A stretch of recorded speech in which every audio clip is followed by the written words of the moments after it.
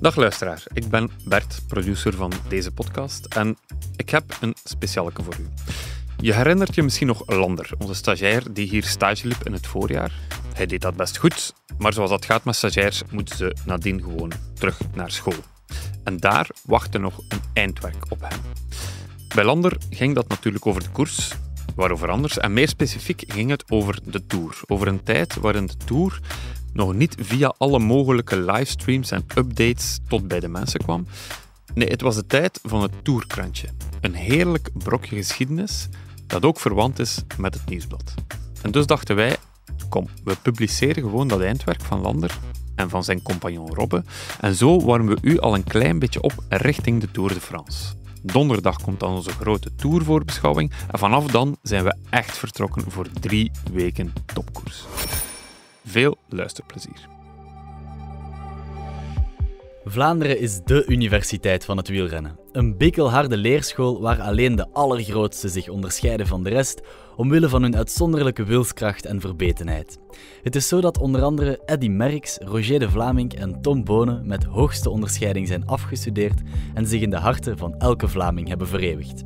De koers laat niets of niemand onberoerd. Ook ons niet. Wij zijn Lander Loods en Robbe Truits.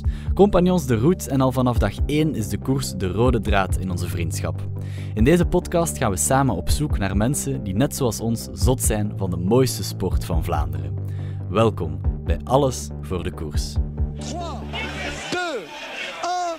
2, 1, Laurent Fignon a perdu le Tour de France. Jonas Vingegaard has cracked Tadej Pogacar on the climb of the Mont Ventoux. Cancellara is Ribbeneby. Mathieu van der Poel's going to do it! Mathieu van der Poel, this is incredible! Waar is die fiets? Où est le vélo? Venga Alejandro, venga Alejandro el Grande. Bravo Merckx! Bravo Merckx! Tom Bonen op één, Tom Bonen op één, Tom Bonen is wereldkampioen! Niet te geloven, Tom Bonen is wereldkampioen! Het is eindelijk weer zover. De Ronde van Frankrijk staat voor de deur. En dat staat voor vele fans gelijk aan drie weken vol van spanning en sensatie. De echte liefhebbers missen geen seconde van de Tour. En omdat we in zo'n moderne tijden leven, is het ook helemaal niet zo moeilijk om elke update live te volgen. Dat kan tegenwoordig via alle kanalen. TV, radio, artikels of liveblogs, noem het maar op. Vroeger was het allemaal minder vanzelfsprekend om de Tour te volgen. Maar ook dan wilden de echte koersfanaten niks missen van de grootste wedstrijd ter wereld. En daarom kwamen enkele journalisten van het volk in 1947 op een ingenieus idee. Het Tourkrantje. Ja, dat tourkrantje, eh, dat idee ontstaat in de, in de burelen van het volk. Via een enorm netwerk, tientallen medewerkers, duizenden verkopertjes en zelfs een luchtvloot kan de Vlaming nog op de dag van de etappe zelf lezen wat er die dag in de Tour is gebeurd. Het is een enorm systeem waarbij elke seconde telt en waarbij er geen fouten mogen worden gemaakt. Maar het zorgt er wel voor dat de Vlaming, die zot is van koers, terug het volk begint te lezen. En eigenlijk is het idee om een korte, ja, een korte samenvatting te gaan maken van de afgelopen etappe. Maar een heel sumier, eh sumiere rangschikking, een, een kort verslagje. Maar ook een aantal andere rubrieken, ehm, wat leidt tot eigenlijk een, een, een viertal pagina's eh, met informatie die de mensen s'avonds al enkele uur na de aankomst kunnen, kunnen gaan lezen. Je hoort Dries de Zaaitijd, wielerhistoricus voor Museum Koers in Roeselare en al meer dan tien jaar doet hij onderzoek naar het verleden van de wielersport. Ehm, en daarachter gaat uiteraard een heel procedé schuil, eh, eh, gaande van verslaggeving in de koers tot en met eh, de drukkerij, tot en met de distributie, zeg maar, om alles ter plaatse te gaan. In deze aflevering spring ik, Lander Loods, op de sneltrein van het Tourkrantje. Van Frankrijk tot België, van vliegtuig tot huiskamer. En dat allemaal in slechts twee uur tijd. Beginnen doen we met een legendarische Touroverwinning.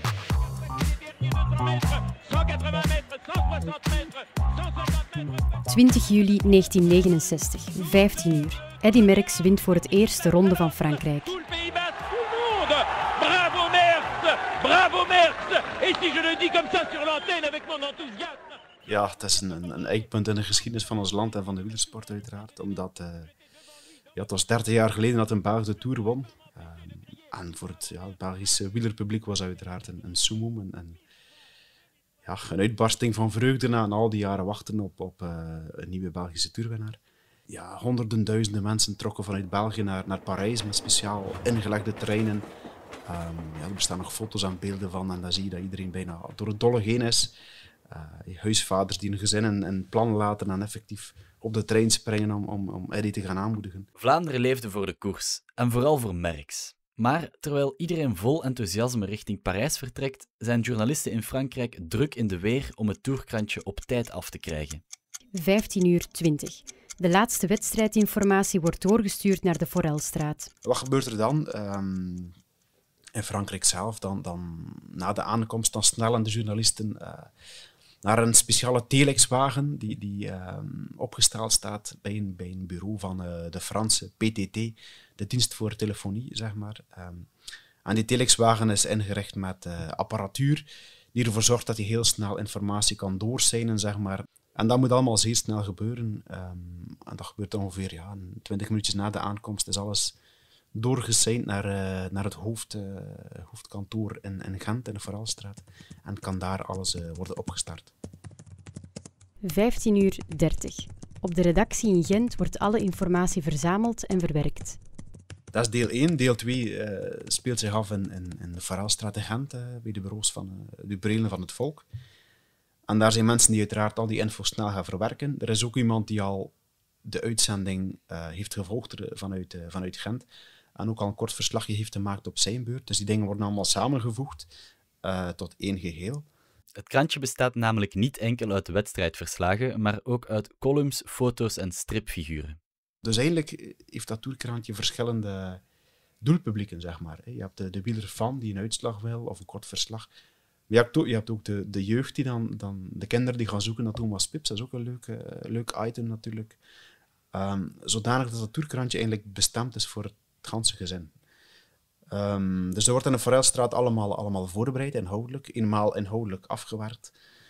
Uh, gaat het naar de persen, he, wordt het heel snel allemaal, uh, allemaal geprint en gedrukt. 15 uur 45. De laatste kranten rollen van de pers. Ja, op zich is dat uiteraard een, gigantisch technisch procedé. Uh, foto's die worden via een spe speciaal Bellino-systeem overgeseind, uh, wat allemaal fantastisch is, zeker in een pre-internet en gsm en, en noem maar op, tijdperk. En toch slaagt uh, het volk erin om dagelijks een, een, een, niet alleen een, een, korte klassering en een kort verslag, maar ook telkens uit te pakken met mooie foto's. Wat op zich ook wel fantastisch is. De foto's die daarin zaten, die waren niet altijd actueel. Tenzij dat er een wedstrijd was die een beetje vroeger aankwam. Hier heb je Manu de Bruin. Hij is al van jongs af aan nauw betrokken bij de werking van het toerkrantje. Op jonge leeftijd was hij verkopertje in Gent en op latere leeftijd werd hij zowel journalist, fotograaf als linotypist voor de krant. Hij maakte de creatie van het krantje dus van op de eerste rij mee. Dat is wel een periode voor de digitalisering. Dat moet ik wel uh, zeggen, want dat ging over lode regels. En uh, dat toerkrantje dat omvatte vier bladzijden. Drie bladzijden werden op voorhand gemaakt met tekeningen bij. En uh, met Thomas Pieps, met die muis, die moest gezocht worden. En één bladzijde, dat was de frontbladzijde, dat was met de uitslag. Manu stond als linotypist tijdens de wedstrijd klaar in Gent om alle info te verwerken.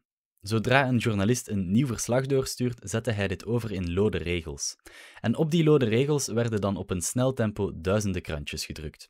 Alles ging zelfs zo snel dat er geen tijd was om te wachten op de laatste renners van het peloton. Nu, nu komen die gewoon op tv. De eerste tien, daar is geen probleem. Maar toen was dat een, een groot probleem. En uh, werden daar bijvoorbeeld de eerste twee, drie opgezet in de volgorde met de cijfers daarvoor. 1, 2 en 3.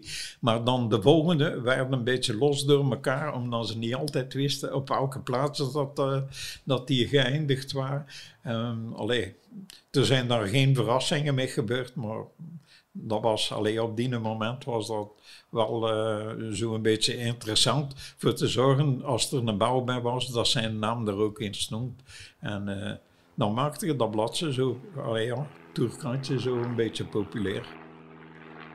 16 uur 10. De vliegtuigjes vertrekken van op de luchthaven van Sint-Denijs-Westerum. Dat was spektakel op het vliegplein van Sint-Denijs, uiteraard. En dan kwamen die camionetjes daar plots in enige maar toe. Uh, en off we go. Dit is de stem van Guy van der Linden. Een piloot op pensioen met meer dan 27.000 vlieguren op zijn naam. Tussen 1957 en 1970 vloog hij tijdens de zomer op en af naar Seppe. Een charmant vliegveldje vlak over de Nederlandse grens. Was niet ver, altijd rond een half uur ongeveer. Je moet weten ook dat dat toerkrantje ook een afzetmarkt in, in Zuid-Nederland bijvoorbeeld. Ehm, en als de bedoeling is om je toerkrantje twee uur na de aankomst ter plaatse te krijgen, dan kan je daar nooit ter plaatse geraken met de, met de wagen. Maar daarvoor waren vliegtuigjes ingezet. Uh, er gaat een speciale wagen of twee richting dat vliegveld, waarna een uh, vijf of zestal vliegtuigen opstijgt om uh, de verste uithoeken, maar ook bijvoorbeeld helemaal in West-Vlaanderen, richting kust misschien, of richting Frankrijk ook. En natuurlijk, ja, in, in, het zuiden van Nederland of, of in de uithoek van West-Vlaanderen zijn er geen vliegvelden om daar te gaan landen. Dus werd er gezocht naar droppingzones, zeg maar. Um, en vliegtuigen die, die gingen dan bijzonder laagvliegend uh, effectief krantjes gaan droppen op een, op een voetbalveld of op een, of op een weide. Allee, op open vlakte, zeg maar, waar het uh, tamelijk veilig was om die dingen te gaan droppen. Dus die stopten effectief niet. Er werd al vliegend gewoon de grond ingegooid. Dat waren grote pakketten ook, die waren samen gebonden met een touw of wat dan ook. Maar dat heb ik nooit niet gedaan, want dat is dan verboden geweest. Dat is geloof ik door het bestuur der luchtvaart is dat dan verboden geweest. Dus we moesten gewoon gaan landen daar en de pakjes weer afladen. Hè. Opladen, afladen, maar uitsmijten, dat zat er niet meer in. En van daaruit werd, werd een nieuwe schakel uh, in gang gezet. Ofwel was een auto die uh, een aantal krantjes oppikte en verder ging gaan afzetten op, op, op nieuw, nieuwe verdeelpunten waar dan kinderen met de fiets stonden te wachten. 16 uur 50. Jonge verkopers halen de pakketten met krantjes op en beginnen met de verkoop. Het volk met een uitslag van de Ronde van Frankrijk, dat was wat er geroepen werd, altijd. En dat is altijd zo gebleven. Deze bekende slogan roept bij verschillende generaties waarschijnlijk pure nostalgie op. Geen wonder als je weet dat de slagzin 36 jaar lang in heel Vlaanderen werd geroepen, en dat door duizenden verkopertjes. Ook door onze linotypist Manu de Bruin. En dat waren allemaal kinderen die dat deden, van 12 tot 15 jaar. Ja, eenmaal die krantjes werden gedropt of, of op uh, hoofdverdeelpunten waren, dan werden die uh, overgenomen door, door uh, jonge verkopertjes. Hè, want er werd altijd een oproep gedaan naar, naar kinderen van 12, max 16 jaar, zoiets, die dat wilden doen. Het was ook zomervakantie, dus een ideale bezigheid voor, voor kinderen om, om iets extra te gaan doen. Er was ook een klein zak, centje aan verbonden. Ook mooi meegenomen natuurlijk. Um, en die kinderen gingen dan effectief gaan verkopen aan, aan cafés, waar altijd wel volk was in die, in die dagen, maar ook aan gesloten spoorwegovergangen, waar, waar treinen passeerden, auto's en, en, en ander verkeer komt tot stilstand. Zoals nu met je de Rode Kruis-stickers bijvoorbeeld, ja, op drukke punten uh, worden verkocht, dan, dan is het geknipt natuurlijk om, om uh, krantjes aan de man te brengen. Elke schakel van het systeem werkte de hele dag toe naar dit moment. Het was dan ook belangrijk dat de draagjongens op tijd de straat op konden. Moest er om negen uur s'avonds niet meer mee afkomen, want dan waren er geen mensen meer op straat. Hè. Je moest dat doen op het moment dat de mensen van hun weg kwamen. En wat, dat zijn de spitsuren. Hè. En die spitsuren van vroeger, dat was tussen vijf en zeven uur ja, die verkopen soms op het hoogtepunt meer dan 100.000 krantjes per dag. Dus wat fantastisch is natuurlijk, ook qua, qua verkoop voor het volk algemeen. 17 uur. De kranten zijn te lezen in Vlaamse en Zuid-Hollandse huiskamers. Maar dat toerkrantje is iets dat, dat, als je daar nu, nu op terug, uh, terugkijkt, effectief in het collectief geheugen staat. Um, door die verschillende factoren, zoals ik al schetste, die kinderen, door de inhoud van het toerkrantje, die Thomas Pips uh, figuur, Um, ja, het feit van die distributie, dat was eigenlijk, als je dat nu bekijkt, echt iets ongelooflijks. Zeker in het pre-internet tijdpark.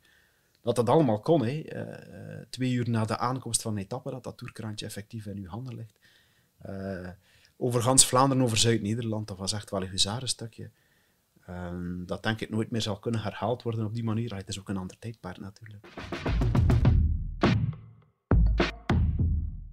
Dit was een aflevering van Alles voor de Koers. De realisatie kwam tot stand door Robbe Truits en mezelf, Landerloods. Graag bedank ik Dries de Zaaitijd, Manu de Bruin, Guy van der Linde en Kayla Keulemans. Zij waren de stemmen in deze podcast.